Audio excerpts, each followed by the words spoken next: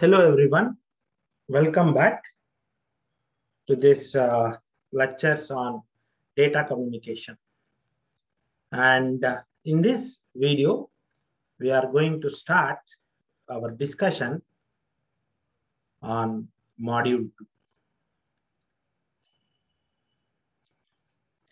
In this module, we are going to learn the following concepts. Line coding,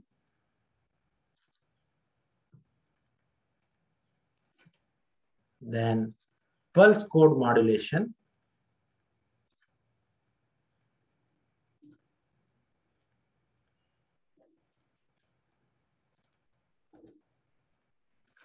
then we will discuss digital to analog conversion techniques.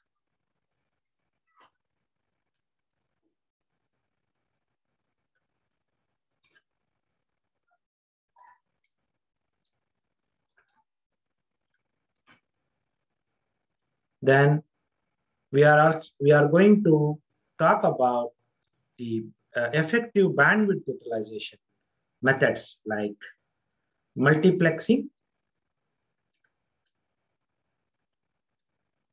and spread spectrum.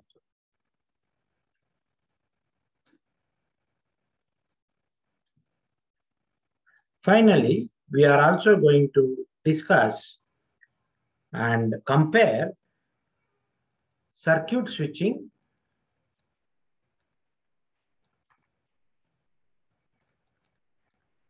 versus packet switching.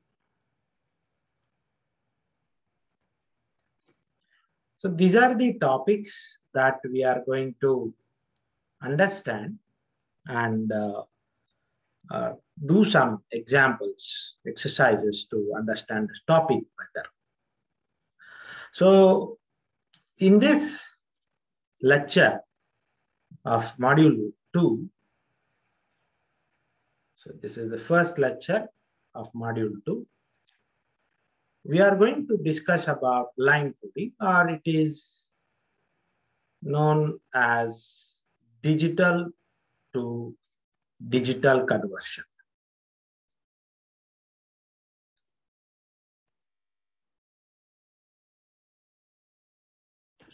Right? So where we are going to discuss on the various techniques of line coding. So we are going to talk about the various line coding techniques.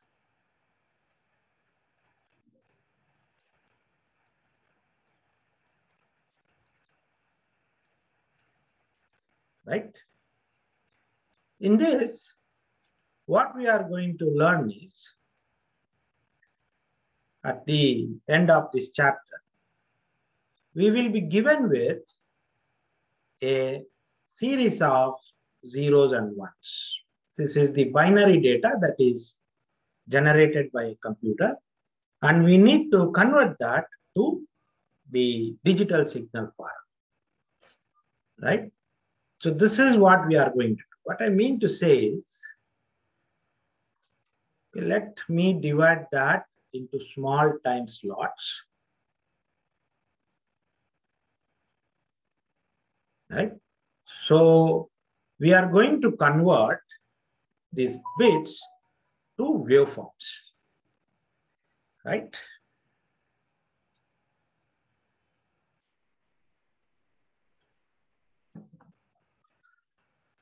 It means that I'm going to, we are going to represent these bits to some electrical signal. So I'm going to write this one as with plus V volts, like 5 volts or something like that. And 0, I will write it as 0 volts. Right? So we have 1, 0, and there is again a 0. Now we have a 1, and then again a 0. Now this is one simple method what we have. Okay, so we are able to convert the bit into the electrical signals. So digital to digital conversion. Now this method has some drawbacks. Some advantages are there, some disadvantages are also there with respect to some of the characteristics of the line. Right? So a digital machine is generating the zeros and ones, and we will convert that to electrical signal that will be received at the other end. Okay, so this is what we are going to learn in this, and we will see uh, what are the various characteristics, the uh, advantages and disadvantages of such coding techniques. Right? So what are the characteristics? So let's first take the first characteristics, which here we call it as signal element, signal element versus data element.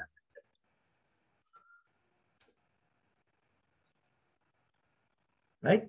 So let's take with this the first characteristics. What it says is, now if I take this example that we have written here, we have one data element. This is called as the data element. Let me write it as DE. And each of these data element has one signal element right? So this we call it as signal element.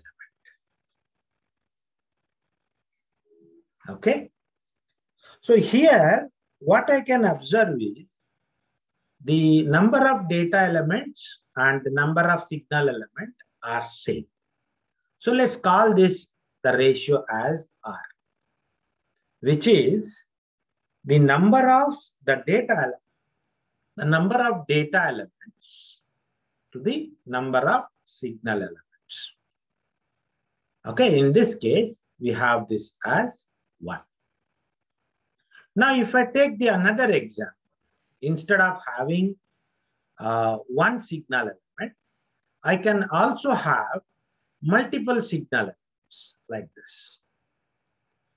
For one, I'm using two signal elements for zero, I will have a different code. So here I'm again having a different code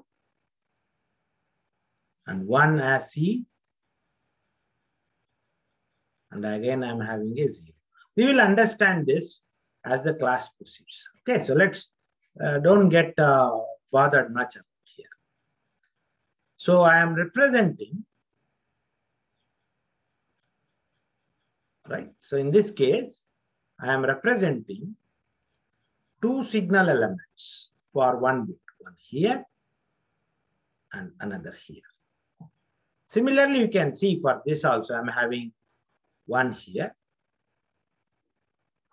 and one more signal element here, right? So instead of just using one uh, level, I'm having two voltages here, right? So in this case, now my this value, R value, will be 1 by 2. Right? So those the first characteristics. I can have multiple signal elements to more than one signal element to one bit. Or I can use multiple data elements in one signal right? So we do can have something like we can have two data elements like here for this one zero, I'm using one data element. Since I'm seeing zero one here, I will be having a different data. So I'm using two data elements, right, in one signal. So the ratio what we see now here is 2 by 1. Right. So this is the first characteristics of our line. So we can use more than one uh, data and signal. The second characteristics is now the information is with respect to bits, like if what I see here is I'm having five bits per second, right? Five bits per second. Whereas in this case, I'm having 10 signal elements per second. So the second characteristic will be the data rate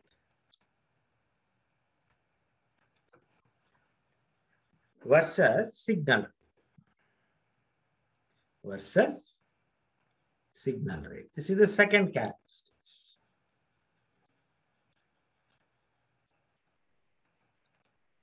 Right?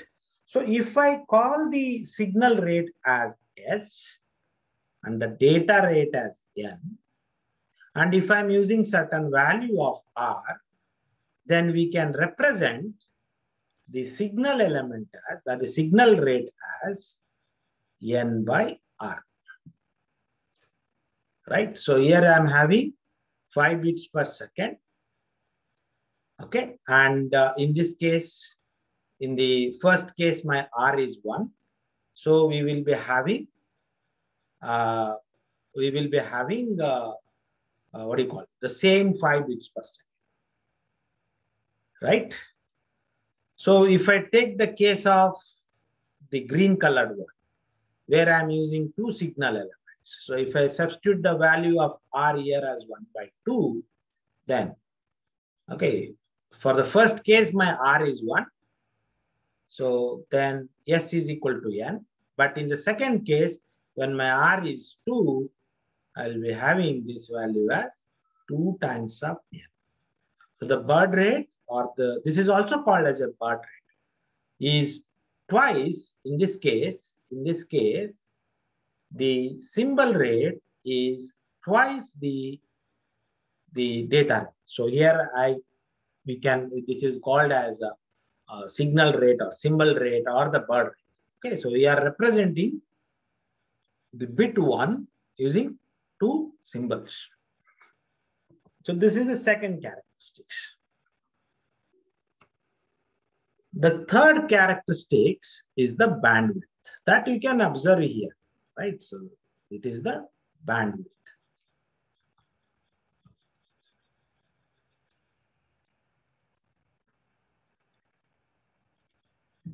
right? So the bandwidth, we can relate it like this, right? So this is the same. It is n by n into 1 by r or 1 n by r, right? So we are having the same relationship. Number of the data or the signal elements that we are transferring. So this is multiplied with some constant, right? Some, some channel rate, uh, some constant uh, we are going to define. Uh, that is between 0 to 1 to tell about the bandwidth of the signal. So the fourth characteristics is the baseline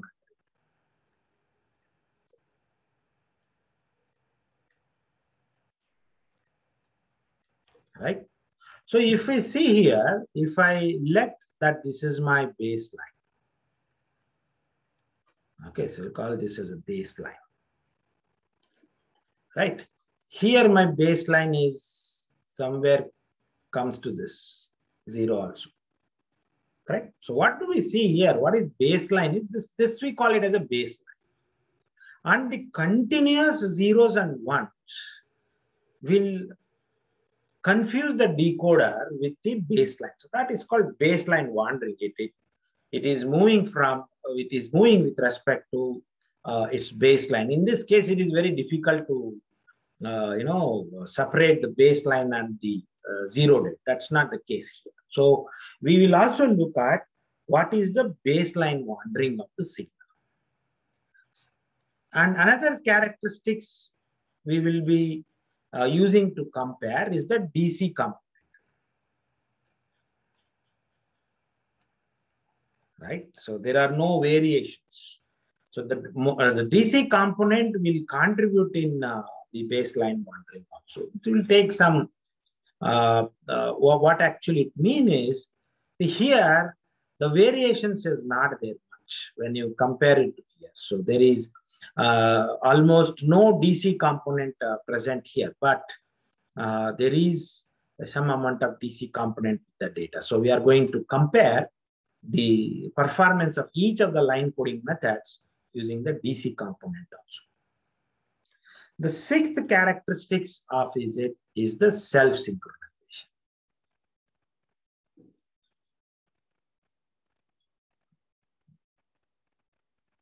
What actually it means is, see, we are transmitting these waveforms, right, at the, at the uh, receiver side. These two signals must be exactly synchronized so that the uh, same kind of digital data can be recovered. So the various techniques need to be verified for the capacity of, for its capability of synchronizing. So we will also take the, uh, I mean, we will include this characteristics, which is called synchronization. What it means is, okay, the, the, we, are, we are transmitting a signal, right? Right. So if these two are not properly synchronized, then we might get it to be something wrong, right? So we will be uh, receiving some other bit pattern. So self-synchronization is another uh, uh, thing that we have to see. We will also compare it using with the, the built-in error management, built-in error detection. So how the line coding techniques uh, should have some uh, the capabilities uh, in the built-in capabilities to detect the error. Right? If there is a change uh, from 0 to 1 if this waveform get changed uh, from instead of 0 if i am receiving 1 right? So the line coding should be immune to such kind of errors also. The eighth characteristic is immunity to noise. Okay, immunity to noise.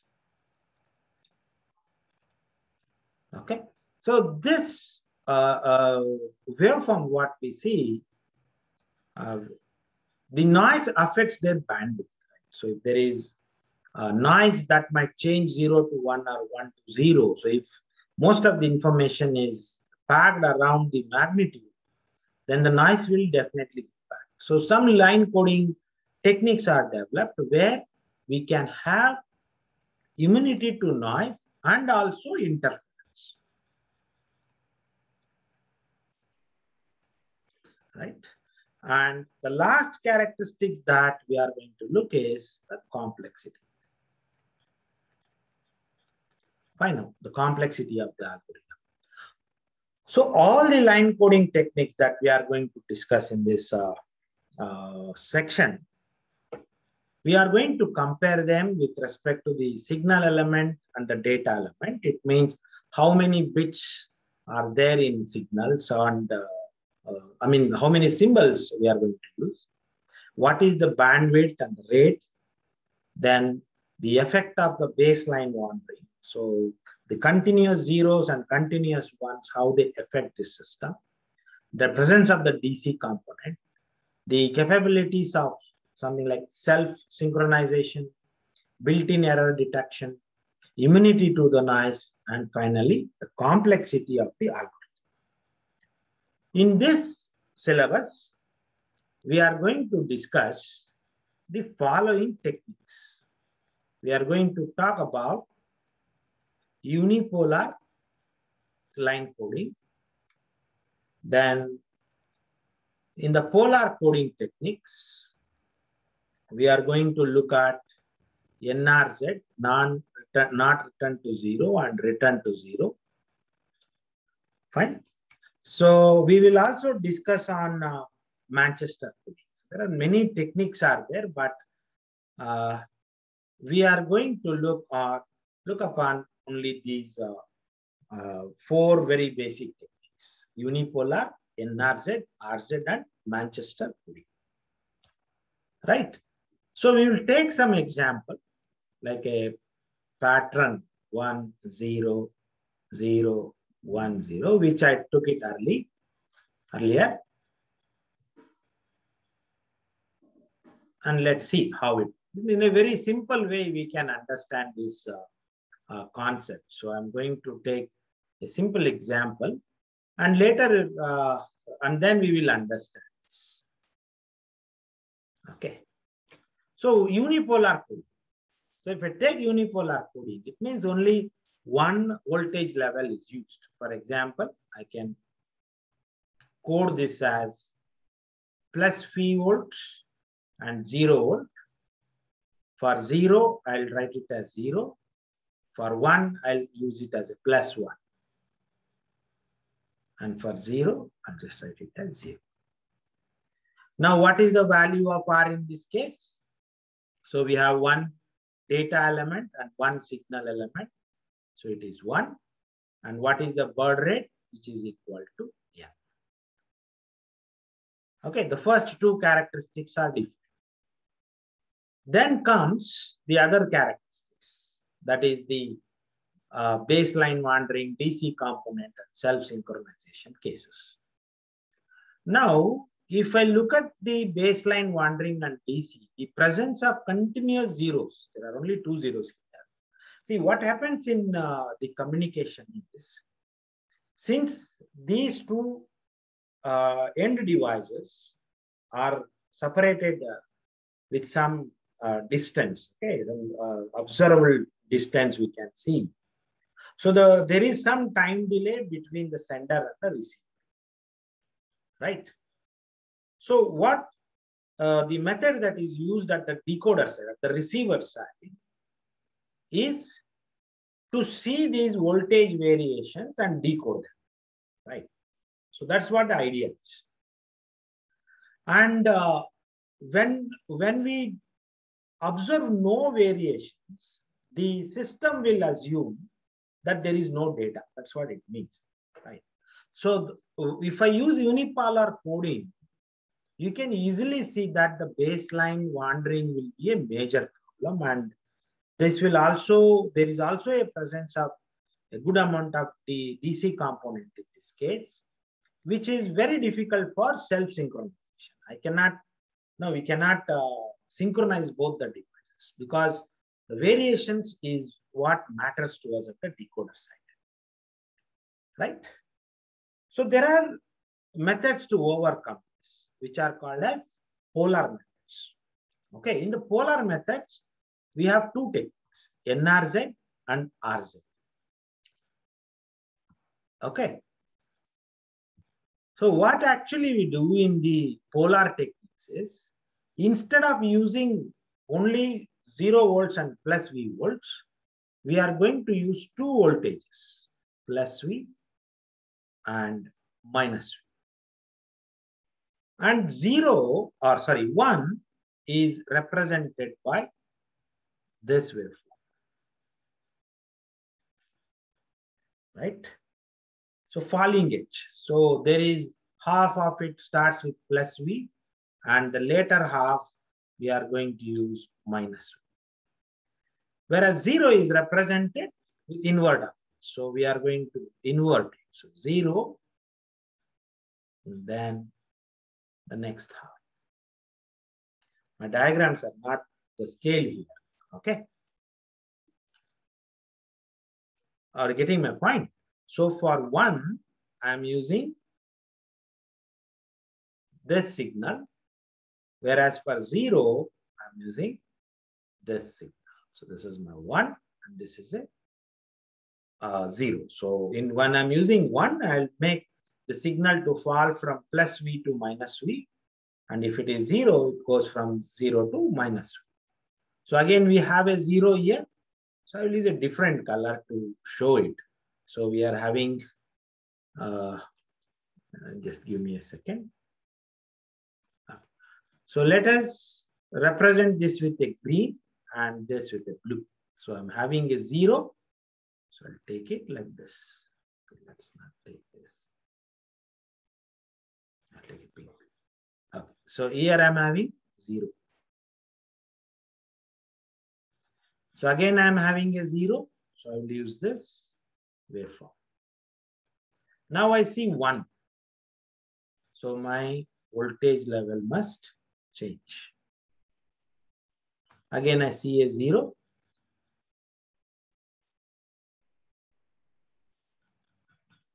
Fine. So let me just join.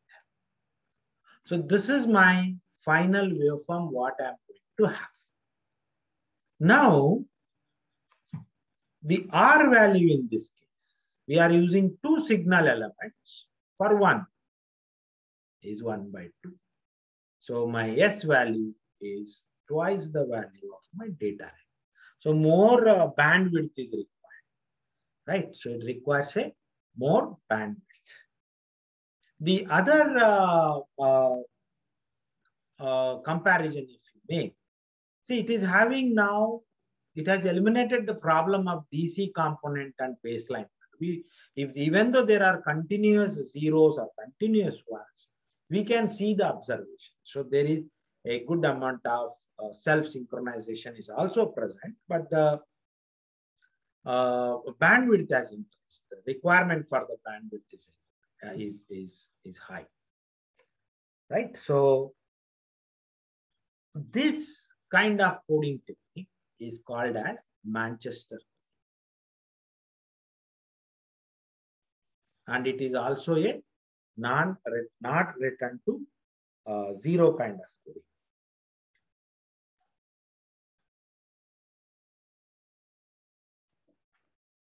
Right?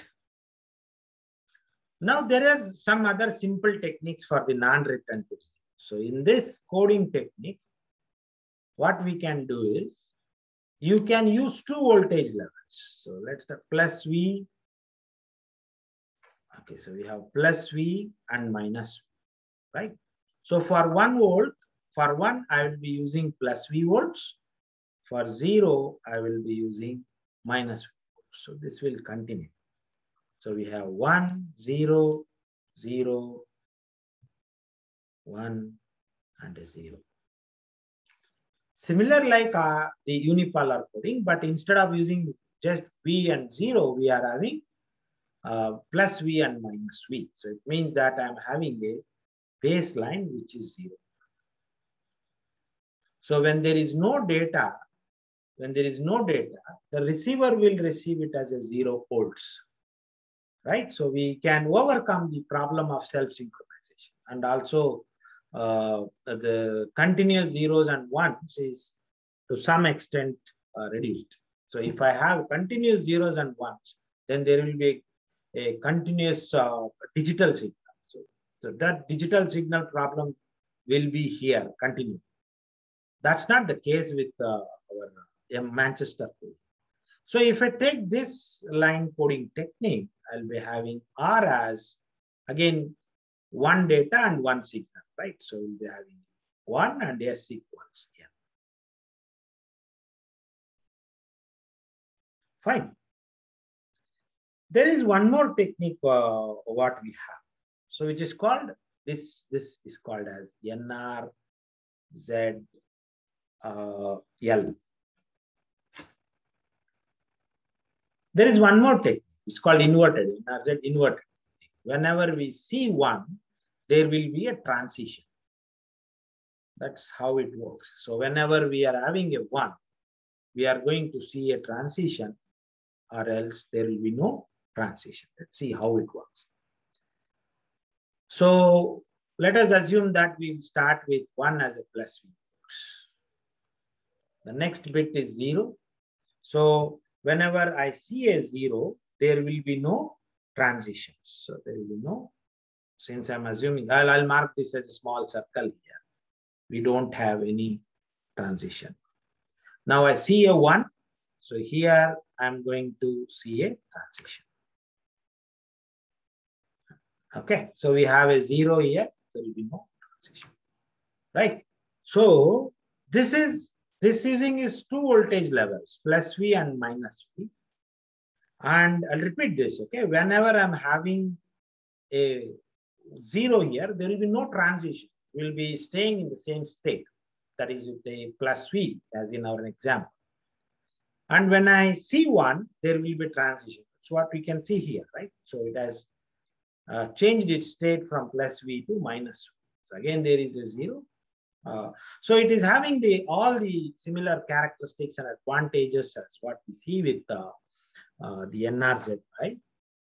Uh, what is the uh, advantage that we are going to get. So uh, this is, is, similar like NRZ, but the problem of DC component will continue in this case. right? So there is one more technique called as return to zero technique. Okay, so let me take it these numbers back. So we have one, zero, zero, one, and a zero. Okay, so let me draw this.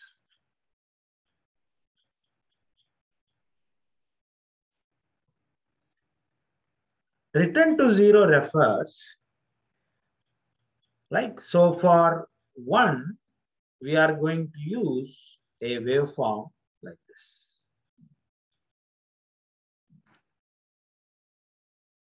Right? No, sorry. Let's not do like this. For one, I'm going to use a waveform like this. So this is my zero volt, this is my plus V, and this is my minus V. Whereas for zero, we are going to use such waveform. So this is my zero volts, minus V and plus V, right? So if I, if, if you take this example, let's note them this as zero volts, plus V volts and minus V. So we are going to start with half part with uh, 1 and then the remaining half part with a 0 and then with a minus V. Okay. Now we have 0 here. So to take this 0, I'm going to do like this. And again, I'm having a 0. Right? So this voltage transition, what we can observe is that this looks like this. And again, I see a one, so I'll be having like this. And again, I'm having a zero, right? So this is how the RZ line coding will happen. In this also we can see that we have one data element and we have two signal elements. So my R is again going to be remained as one by two, right? But this algorithm of this technique is uh, complex and uh, uh, here we see that uh, uh, the bandwidth requirement is similarly the Manchester coding. Right. So this is uh, what we are going to discuss in this chapter. So let me take uh,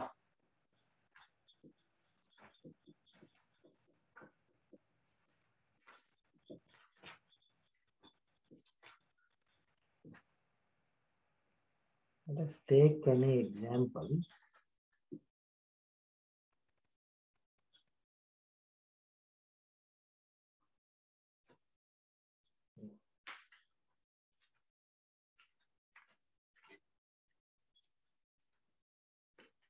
Okay.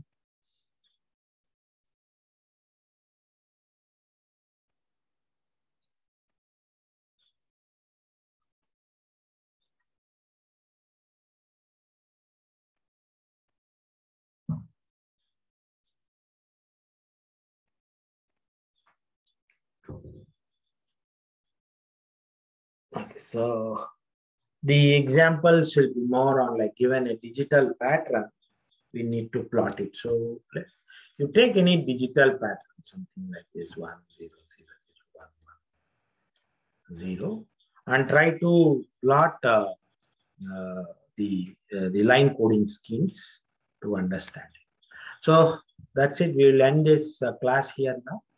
And in the next class, uh, we are going to discuss on pulse code modulation technique that is uh, called as analog to digital conversion.